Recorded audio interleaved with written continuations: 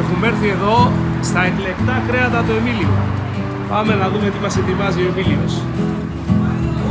Πάμε να δούμε τι μας ετοιμάζει ο Εμίλιος. Τώρα λέμε, Εμίλιο τι κόβεις; Εδώ παϊδάκι Ο πρόβατο. Εμίλιος είναι ο πέτρας στο κρέατος. Παϊδάκι πρόβατο. Ωραία μαργάστα. Αυτά είναι. Αυτά είναι.